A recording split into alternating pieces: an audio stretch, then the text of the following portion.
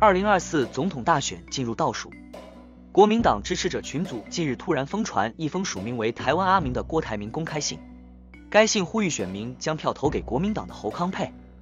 然而，郭台铭的好友联电荣誉副董事长薛明志下午表示，信件是他经手的，并以郭的老友身份代表郭发声。对于这封信，郭台铭办公室保持低调，仅表示不回应。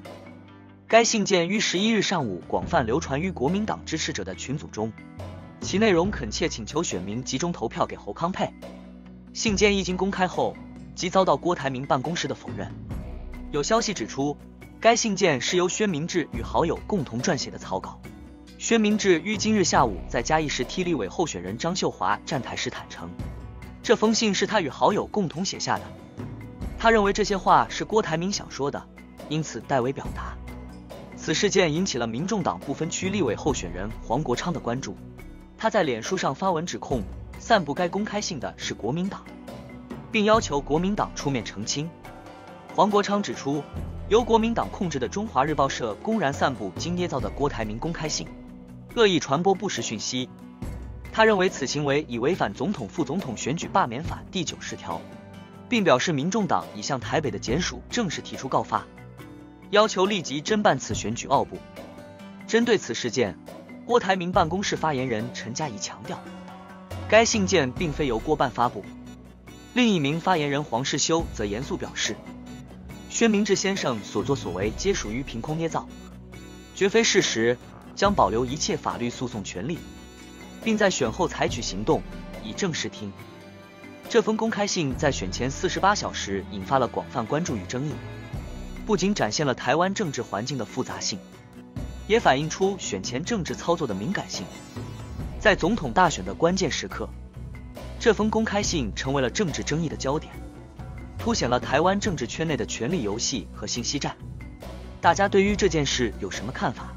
欢迎留言讨论哟。感谢收看 Li News，每天给你最新最好料新闻报道。欢迎订阅我们的频道，按赞分享，开启小铃铛。国民党副总统候选人赵少康于二零二四年一月九日再次对红海创办人郭台铭发出呼吁。随着台湾总统大选仅剩下三至四天，即将于一月一二日举行，赵少康强烈希望郭台铭能够公开表态。他表示：“你到底要做英雄，做枭雄，做狗熊？”就在这几天，历史会给你定位。据媒体报道，民众党总统候选人柯文哲于一月八日晚间在台南举行演讲时，郭台铭的后援会老虎军团团长现身，并公开呼吁郭台铭的支持者投票支持柯文哲。赵少康于一月九日上午访问新北市新庄区安德烈食物银行期间接受媒体联访，他表示，目前已有熟人在中间进行联系。但最终还是需要郭台铭本人来做出决定。赵少康强调，虽然郭台铭拥有众多后援会，但这些后援会到底能否代表郭台铭本人的意见，仍存在疑问。赵少康重申，选举仅剩下三至四天，郭台铭应当亲自出面表态。他说：“郭台铭还是自己出来吧，你到底要做英雄，做枭雄，做狗熊？就在这几天，历史会给你定位。”此外，赵少康对于国民党籍台中市长卢秀燕的宣布表示回应。卢秀燕曾说，若侯友谊当选，他不会接任阁魁或进入内阁。赵少康提到，他与侯友谊都已讨论过，若当选，将邀请柯文哲与郭台铭共同讨论内阁人事，包括行政院正副院长的职位。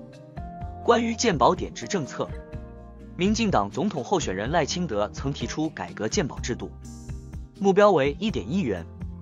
对此，赵少康回应称支持好的政策主张，并批评为服部公务员思维僵化。他指出，赖清德已担任两年行政院长和四年副总统，却在选举临近时才提出与一届讨论此议题。对于台大医师施景中对其政见的质疑，赵少康强调，他曾任环保署政务官，对于实现政策有信心。坚称一点一元证件将会逐步实现。随着台湾总统大选的临近，政治人物之间的互动与表态成为了关注的焦点。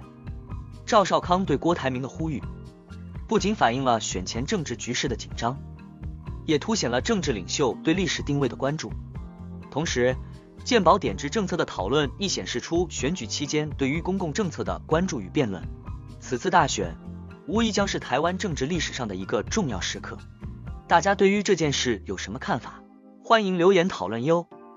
感谢收看 Linux 每天给你最新最好料新闻报道。欢迎订阅我们的频道，按赞分享，开启小铃铛。